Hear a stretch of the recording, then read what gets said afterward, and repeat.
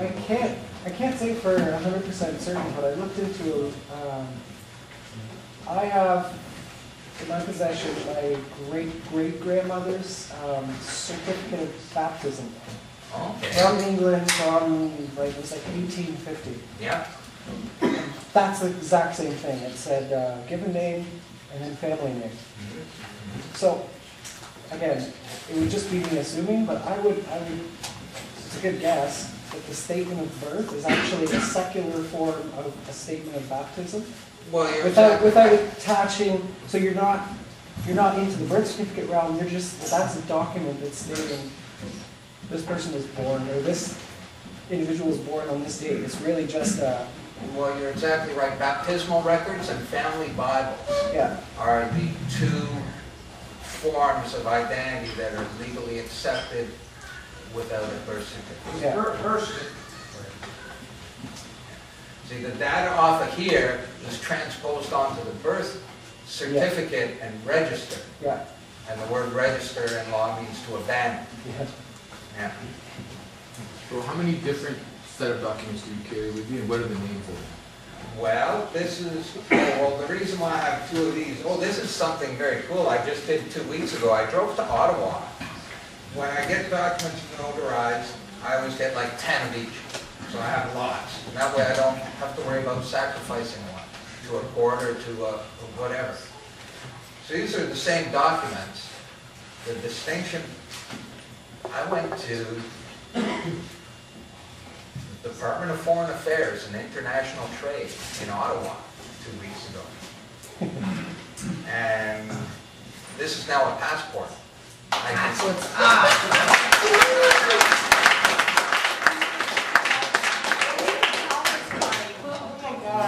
I can use this to passport.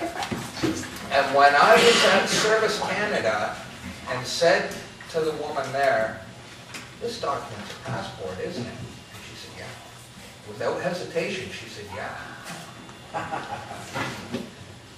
I gotta look into this. So a year has gone by, and I found out some more stuff, and I ended up at, at the Department of Foreign Affairs in Ottawa. There's not one in Toronto. But if you go there, they have a process called uh, legalize. They- This document is now legalized. That's their terminology. Uh, You will never documents, you can take up to 10 at one time, and they stamp.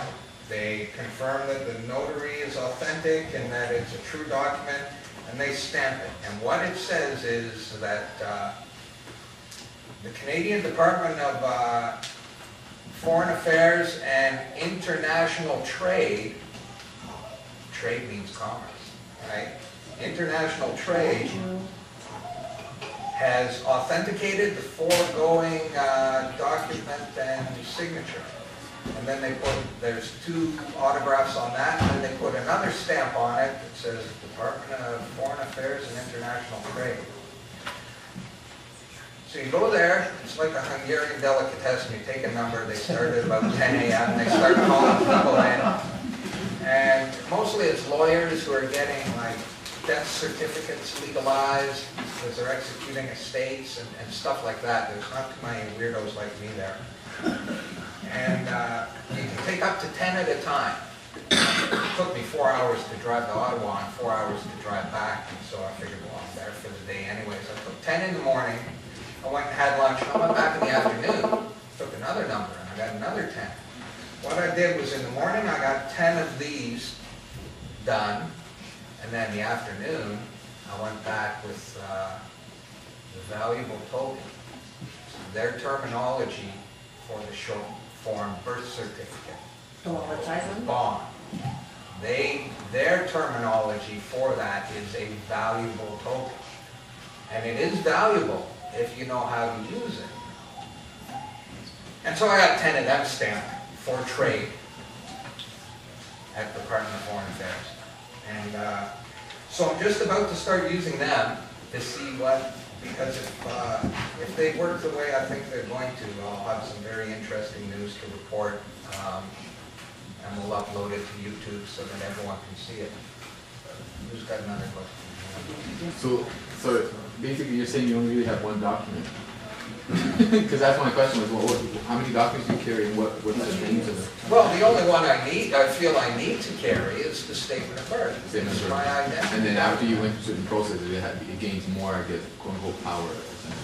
Well, You could do no. I just like to carry more because I can and it doesn't hurt. No, I mean, after you went through the four years, it now also became a passport as well. and Oh, that oh, okay, you go, yeah, now with this, if I go to, uh, the American Embassy, with this document, say I'm gonna passport, I'm traveling on this day, this time, these are the, this is the document of identity that I will be using, and you get the, uh, American Embassy to stamp it, right beside where the Canadian Foreign Affairs is stamped it.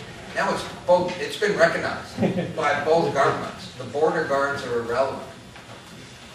So basically, you have to get that done at any country's embassy around here that you're planning to travel to. Yeah, So you can leave that country without picture ID and get on the plane. It's, When, when I do this, I'm gonna have a camera on me, and I'm gonna film it, because I know no one's, no one will believe me. And secondly, I just want evidence and information that I can share, so. Are you planning to fly or cross like the British, Uh, if you want to stay? both, Yeah, try flying. yeah, yeah, yeah. So we'll see what Do happens. you, do you, uh, you have a document right to travel for driving? Is that what you use also for reg, your basic regular travel while you're driving? Oh, I drive a lot, I drive like Do you have a document in case you get stopped? Do you use a right to travel document? What do you use? Just your live birth? Are you talking about trying to give it a truth? So you don't even like consent to even reason with cops, talk to them, you're not bargaining with them. You just show them, I'm not a corporation, done.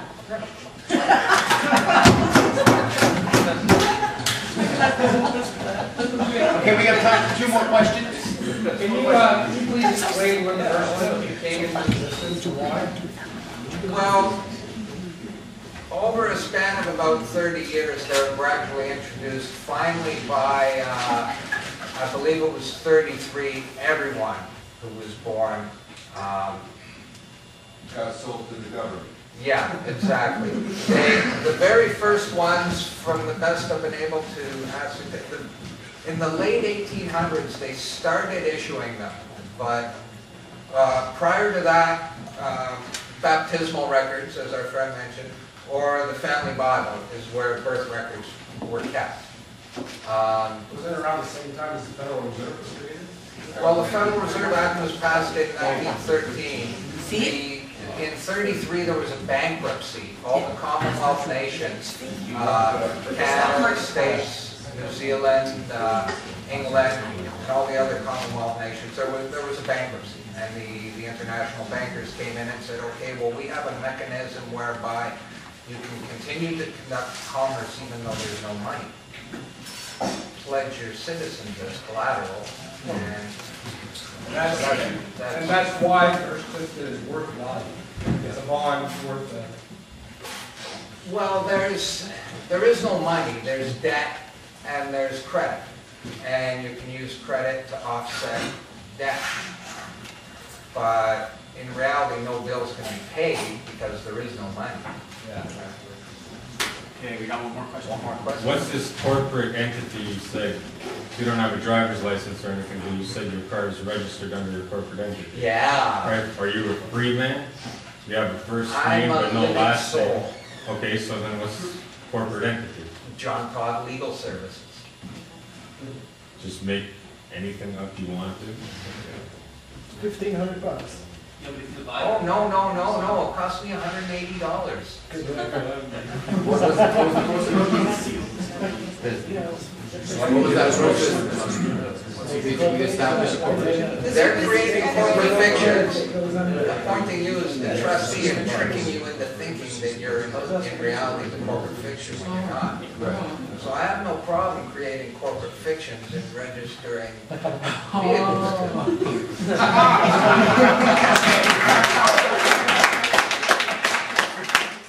What's your YouTube channel so we can look at this up? Uh, TorontoTruthSeekers.com uh, has a link to all the, all the videos. Okay. Okay, that's great. All right. You have a timetable to be quick.